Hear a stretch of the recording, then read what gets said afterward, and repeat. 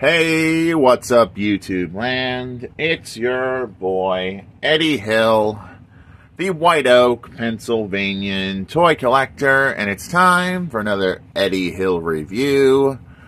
It's review time, people!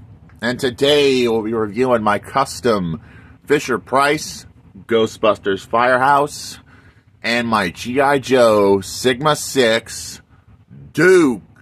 And yes, I finally got me my first ever G.I. Joe Sigma 6 figure, and I was so stoked to find this at Rossi's Flea Market, and I only paid five bucks for him, and he was awesome. So I'm definitely looking forward to reviewing him today, and he'll be an awesome figure to put in my G.I. Joe collection. But yeah, but yeah, the custom firehouse, I could not get the original Real Ghostbusters Firehouse because it was overpriced. And I finally got this one because I needed one in my collection for a very long time. But now that it's been a minute, let's get on to the review. First, we're going to do Duke from G.I. Joe Sigma 6, and he's a good looking action figure. Show you what he looks like up close. Here's a close shot of his epic glory. He's got the still got the Sigma 6 logo if I can close in on that. Come on. Come on, come on. Focus, camera, focus. Tricky trying to get the focus on that insignia. It's really hard to focus on camera. Come on. Let's see if I can increase the light and see if it helps. There we go. Come on. And, and yeah, yeah, that's the symbol for G.I. Joe Sigma 6 and it still looks great to this day and glory. Articulation on this figure is really good. Got some hinges here. His hinges here are real tight, and I'm afraid of breaking them, so he doesn't have, his hinges don't work as well. He's got hinges here, which is cool. No hinged hands. Head can move on a ball joint. Love that for an old school figure. Bend at the knee. Nice. No ankle tilt well, some, but it's very tight and I don't want to break it.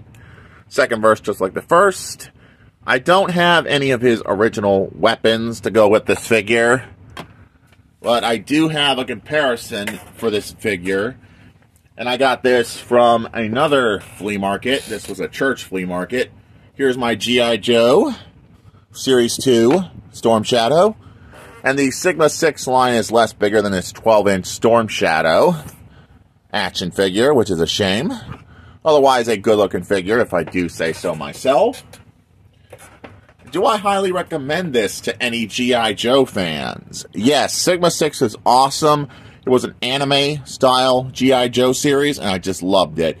There were some figures they didn't do. They didn't do Scarlett, which I really regretted they didn't do her.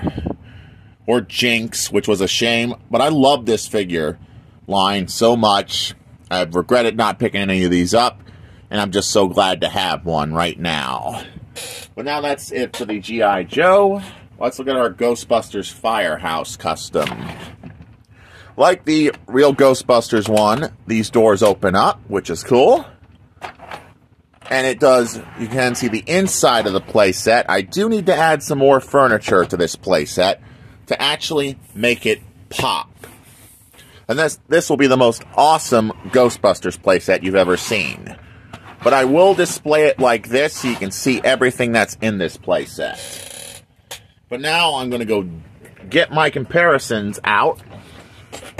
Here is the Ecto 1. And we're going to put it through the playset, if I can get it in there without knocking anything down. And yeah, look at that. It'll look like it's actually coming out of the firehouse, the Ecto 1. Ain't that amazing, right? I will have to add some beds up here for my Ghostbusters to sleep in. And this will be where I put Janine's desk. I did have a Janine fill-in figure. I tried to add some glasses to her, painted them on, but I did more damage to it, so I just wound up getting rid of her out of this display. So I'll have to get a Ghostbusters Janine to complete this playset.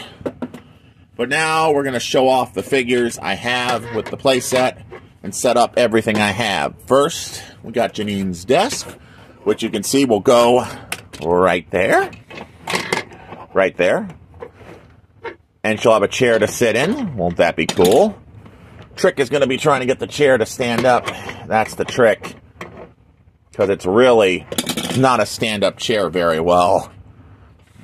But other than that, that'll look cool for furniture. For Janine to sit at her desk.